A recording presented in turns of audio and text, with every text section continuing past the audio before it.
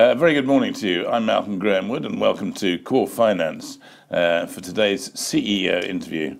Uh, I'm very lucky that uh, today's uh, guest is is James Menzies, who is CEO of uh, Coro Energy. Welcome back, James. Thank you, Malcolm. It's great to see you again. Thank you.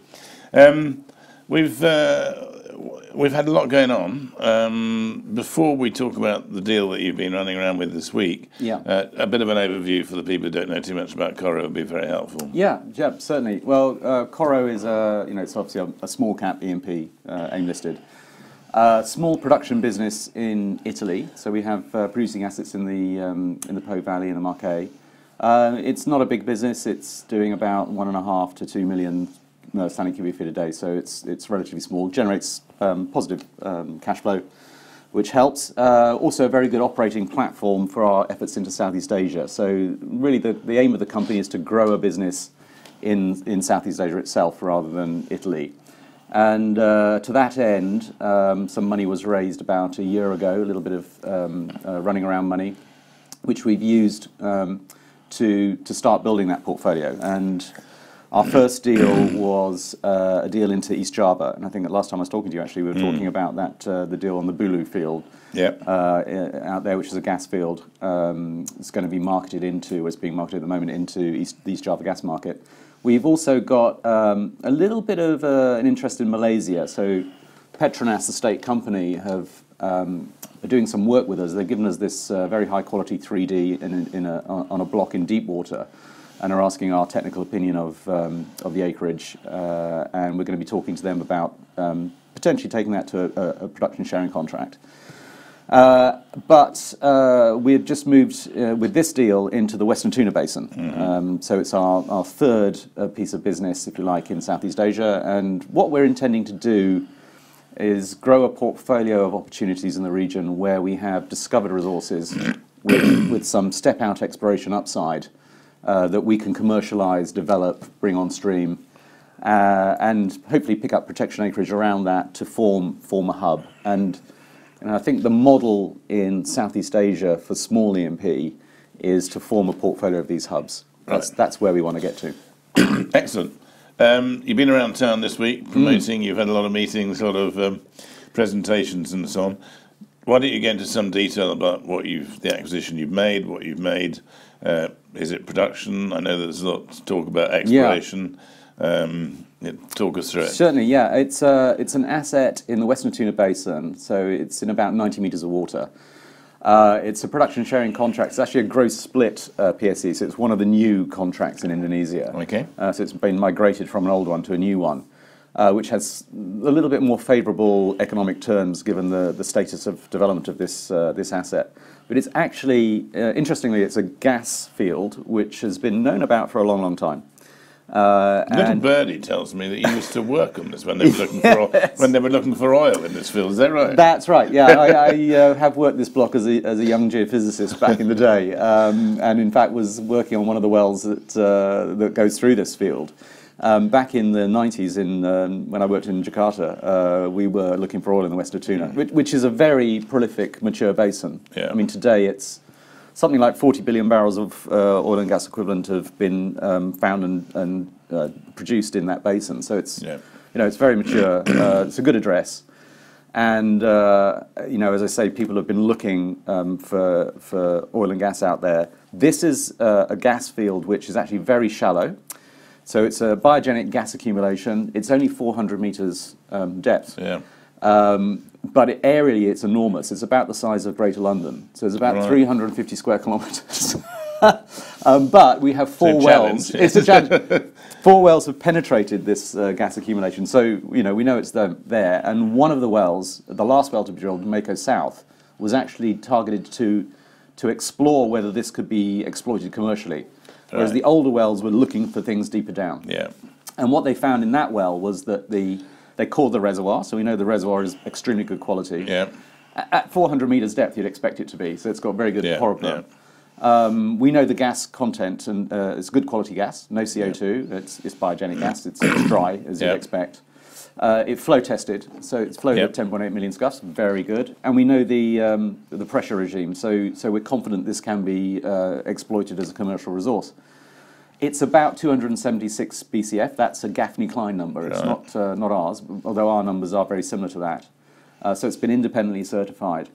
Uh, and it is 16 kilometres from the West Natuna transport system, which is Right. a pipeline that goes to Singapore. Right. It's we'll come back point. to the infrastructure in a minute because I wanted to talk about Yeah. that in a bit more detail. So you've got so it's not producing yet. No. But it's it's quite close to. Would you say? it's four Uh, wells. No, it needs. It's at the point of development. So the plan of yeah. development sits with the authorities right now. Um, and it's got the other interesting aspect to this, I think, for Coro shareholders is that uh, we've got exploration potential above and below the exist the field as it sits today. Right. And this deal, where we're we're paying the vendors effectively a little bit of cash and some Coro shares, but the vast majority of the funds Yeah. are going in the ground, and those are the deals I really like. Yeah, absolutely. So we're going to we're going to be paying for some exploration drilling and appraisal drilling on the field itself this summer.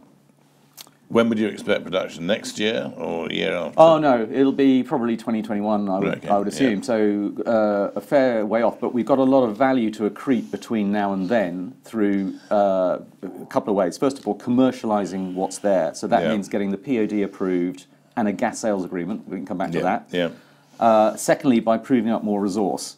Now, the exploration potential um, sits both above and below the field itself, and it being so aerially massive, we would like to appraise different parts of that field. Uh, and we have one prospect that sits beneath the field, which is very close to some wells I was drilling back in the 90s, Right. that has seismic amplitude responses, which Right, tell you yeah. there's something going on down here. And so we view that as being quite low risk exploration. And we would have to drill through the field to go and see it. So we're Yeah, basically yeah, deepening an appraisal yeah, well. Uh, the other um, exciting prospect we've got is at the southern end of the field, where we have shallow, um, bright amplitudes that, Yeah. that light up above the, the main reservoir. Yeah. So even to go and appraise the field in the south of the block, we would have to drill through these prospects.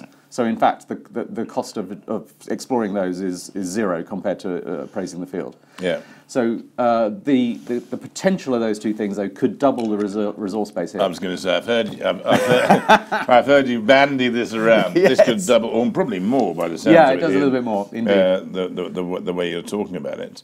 Um, so that puts it into, into firmly very, very strong value yeah. value terms. highly value accretive. I mean, we're in terms of the deal itself, um, we're paying just shy of fifteen million dollars for our fifteen percent equity in this. Yeah. It values actually values the, the, the, the asset at ninety one and a half million dollars as the headline number. Yeah. Given the, the external view of resources here, we're paying about 34 cents an MMBTU. And Singapore gas, um, you know, sells for somewhere between Yeah. 8 and 11, we'd Yeah. expect. so very, very promising on that front. Uh, Yeah. Now, talk me through the financing of this deal, Yeah. because particularly when it came out on day one, um, the the message boards and uh, and Twitter and so on was a was alight with the fact that you're it's not a straight equity deal. Yeah. Um, you've got uh, a euro bond. Mm-hmm. Uh, one of your major shareholders is buying half the euro bond and a underwriting new the rest. for the other, yeah. yeah. So why don't you talk me through the whole the Yeah, whole certainly. shoot? Certainly. Well, the, I mean, first of all, the, the idea is to find a way that we could get this deal done, secure financing for the drilling. This is the Yeah. important thing for the group that we're working with here, is they need drilling funds to go out Yeah. drilling this summer, and and we want to to do that too. Um, we needed to secure the financing up front. So, so going to the equity market to do a deal subject to raising equity at the share price that Coro sits at today, with the state of the equity market, in our view, was a highly risky uh, Yeah. thing to do, and probably wouldn't have got the deal done. No. If you uh, and if you leave yourself in that position, you can't move. Obviously, no. we are trying to build a portfolio here, so we found a way to raise raise some finance to, Yeah. to guarantee funding for the drilling, and actually give our investors the opportunity to, to, to enjoy the upside from that without having to put their hand in their pocket. So uh, the the Eurobond is a straight Eurobond, as you say. Yeah, it's a three year. Uh, it's got a three year life to it. Um, we can call it if we, we wish to at our at our, Yeah, yeah. At our uh, behest. They have warrants attached to the bond uh, that are exercisable at 4p a share. So Yeah. here we are at 2.3, 2.4. Um, you've got a lot of headroom before you get to 4p. Yeah. And of course, those being called would repay the Eurobond anyway. Yeah, yeah. Uh, so we, fi- we think this is a way for us to secure the drilling. Our shareholders can enjoy the upside We can get some drilling activity. We also have the safety net of the field. Yeah. Let's- if Yeah. everything goes wrong, we still have the field. Yeah, yeah, yeah. Um, so this is the sort of deal like that really appeals to me. Yeah. Now the blend, the word blended is coming Yeah. to this, and, and I understand that when you you do all the sums and the fees and bits and pieces, Yeah. you get a blended price of twelve point three percent or something. Is 12, that about right? 12, 12 and a bit, yeah. I mean, Yeah. The, just quickly, the way that comes about is there's the, the bonds are issued at a discount, so there's a 15% discount um, in, the, in the issue, a headline price if you like, and there's an origination fee of about seven, and then there's a 5% coupon. Right. And over a three-year period, if you add all that up, it's about 12.35% per annum, um, which, you know, compared to the price of equity today, Yeah. you know, you might say is cheap. Well, I've, certain, I've certainly seen people paying a lot more than that. So, Yes. so I don't think you need to worry too much about that. Just um, before I finish on, on, on that one, uh, when you mentioned just now about, well, I asked about production and so on, um, and you said 2021. The work, the workflow program and so on. I mean, you, you expect to start that? Yeah, now. Uh, now, in fact- and, and, and when when would you sort of spud the or drill bit go in the Yeah, ground? so uh, I'm on my way to Jakarta. We've got a TechCom at the end of this month. We'll be ordering long lead items. Um, the, the location of this block is about two to three days tow from Singapore. And if you fly into Singapore, you will see a bunch of jackup rigs um, stacked there. So we can we can find uh, uh, the rig and drilling equipment's not an issue. We're not far. Our mob demob cost is relatively light Yeah. uh, is what I'm driving at, uh, which is good news. So we'll be looking to be drilling here late August, probably September, is the, is what we'd intend to do. Yeah. And it'd be a two well Yeah. program. Okay. So we'll definitely be drilling the, the deeper prospect and appraising the northern end of the field, and probably appraising the southern end of the field. We'll have a bit of a technical I mean, discussion. it's very shallow. Uh, Is Yeah, it, yeah, yeah. Is it 30 days or 60 days or Oh, something? it won't, it won't even be that long. No. no, no, it'll be quick. It'll be Yeah. quick. Um, and of course, we're we're catering, we're planning on a full testing suite Yeah. and as much geological information as we can possibly get our hands on. Yeah. and I mean, it, it, it's not a wildcat, so you would No. expect quite a lot of testing yeah, and yeah, uh, yeah, absolutely. Yeah, yeah, it's not a wildcat. and quite a lot to do. Um, okay, so um, we talked about the. You mentioned the infrastructure and Singapore and the pipeline and everything else. Um, you sort of mentioned eight to eleven dollars. Yeah, um, just- so why, why don't you talk us through the infrastructure? Sure. I mean, the, there's a obviously it's a mature basin. There is, as you'd expect, a well-developed um, pipeline network uh, from these fields, and it's it's quite a way. But it, the pipeline runs to Singapore, and then it goes on to Sumatra, actually. But um, we'll be looking to put gas into that pipeline. It has ullage. You know, Yeah, it's, it's just been going for 20 years. This Yeah, pipeline yeah. system. Uh, owned by the Indonesian government, um, managed by Conoco on behalf of uh, the operators in the basin. And uh, there's space for, for new gas. Um, these guys have got a heads of agreement signed with a Singaporean gas buyer already. Right, Yeah. Um, so I think we'll get the POD approved, and then we'll be looking to firm up that into a full-blown gas sales agreement. GSA, yeah. Once you have that, um, you know that's a key piece of uh, paper. Yeah. That you know, I think at that point you're ready to to go on your field development plan proper. Yeah. So you, you'd be looking for a full full blown field development at that, uh, uh, then. We would be wanting to tap into that pipeline. Uh, either at the, the nearest uh, point of entry, which is a neighbouring producing field, Yeah. about 16 kilometres away, or we could take it in on our um, under our own steam Yeah. into uh, into an open space on the pipeline itself. And and I mean there is significant demand for Yeah, gas yeah, in, yeah, that, in that part of the world. It's quite interesting because on the one hand I hear in the marketplace people saying that the majors, the bigger companies, so on, are actually moving out of the area, and we mentioned this in our last Hmm. conversation. And on the other hand, I see Ophir doing the Santos deal, and then Ophir being bought up themselves. And every time I speak to Premier, they tell me that the Southeast Asia stuff is doing really well Yeah. you know, I, it's a slightly difficult lot, isn't it? What, people are moving out, yet you guys are all moving in. Yeah, well, I think there's a natural rotation between the super major, for Yeah. whom this is a big mature province and clearly something that they're they're looking to run as for cash or dispose of, Yeah. and um, and the, the bigger IOCs. So we've seen OMV move into Malaysia, for example, in a big deal, 500 million dollar deal. Yeah. Um, just in, in the in the last month or two, um, you know, Repsol are trying to increase their position in Malaysia as well, uh, and the independents, um, Yeah. particularly the local, the smaller ones. This is the time for them to come in and and uh, do deals to, to pick up some of these assets. Yeah. So it's a natural evolution, I think. Good stuff. Um, we need to talk about the, the rest of the assets. You, Yeah. you briefly mentioned them in your overview, uh, because obviously you have uh, assets in Italy, Hmm. um, which are giving you some money, but you've also got the Bulu uh, PSC, which you bought before, uh, and of course you've got this deal with Petronas. Yeah. Where you're so you're looking over data. Yep. And that was the block that was re- sort of re- returned by Yeah. uh, Murphy and um, BHP had it. Yeah, that's right. It was talk us through the whole bank shoot of the, Okay. of the rest of the portfolio. Well, let me, uh, let me start with Malaysia, just as we, as we mentioned it. I mean, it's a, um, you know, I, I kind of, I like to say this is off strategy for us because it is a, it is a deep water rank wildcat exploration block, and, and that's not really our game. Yeah. I'm not dismissing it out of hand because actually it does look interesting, but you know, I don't really want to put Coro's funds into something Yeah. like that. So I think if we were going to to to do something here, we'd be looking to bring in a partner to cover Yeah. Coro costs. It is uh, a typical, you know, it's deep water, but it has some very large structures. It's got um, gas effects all over it, very high quality data. Um, so, you know, rather than give it back, we, we'd like to do something with it. So I think we'll look to try and put some work program together to, to, to take this Yeah. block and see if we can bring in a partner. But more importantly, Malaysia has assets that are strategically on Yeah, message for yeah. us, and that's what we we would love to, Yeah. to to get into Malaysia for. In East Java, uh, there we're looking at the gas is being marketed to the East Java gas market, and you know we're looking at a number of different buyers for the gas. I think the the, the gas buyer has now been anointed. Right. Uh, yeah. so we'll be looking for the gas sales agreement on that. We've got presidential elections in Indonesia in April. right. Around the time of elections, things kind of slow down and, and, and you know move around a bit, go Yeah. go a bit syrupy. So I think once the elections are done, I expect to see that signed. Yeah. Um, but that will be at a healthy price, um, which, and then you've got the POD and the gas sales agreement approved. Yeah. Um, I think that one will be ready to go. Uh, and then Duyung, as I say, uh, similarly the POD and the gas sales and, and drilling about to happen.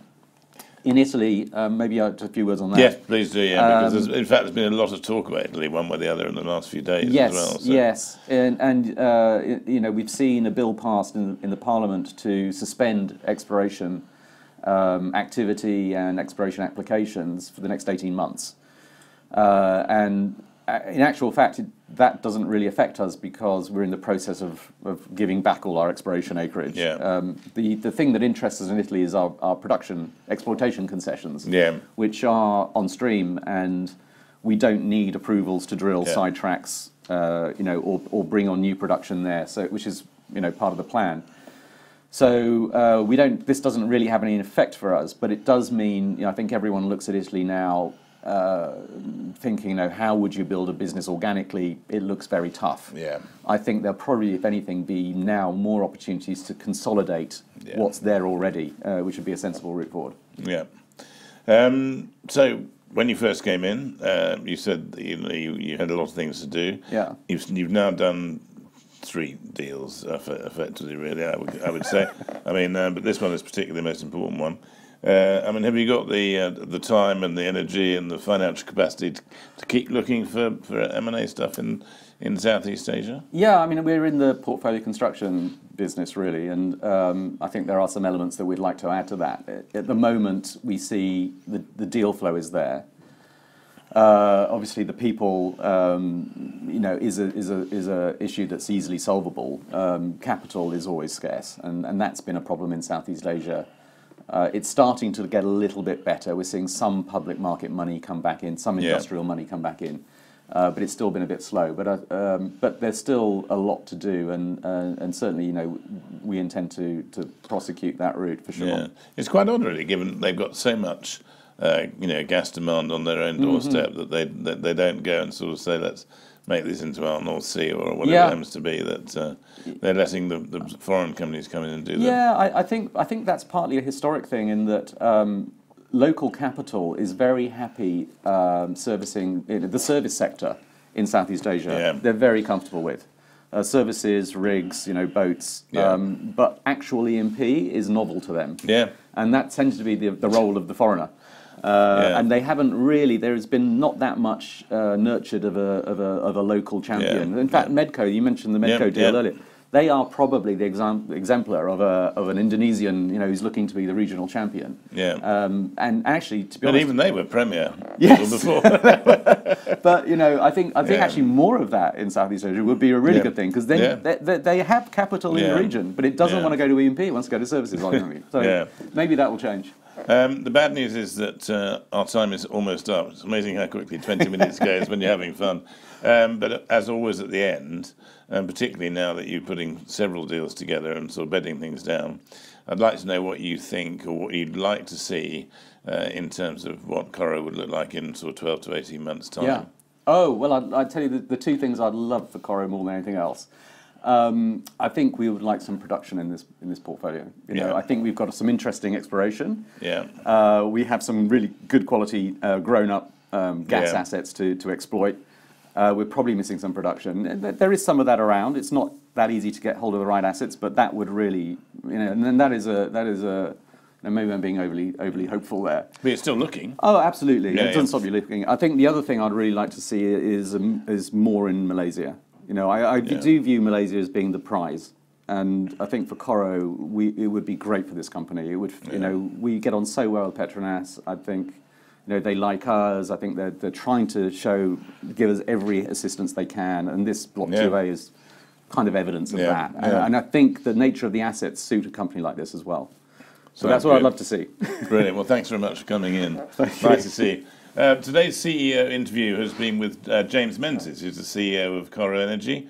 Uh, thank you very much for, for joining us. I look forward to seeing you again soon. Bye now.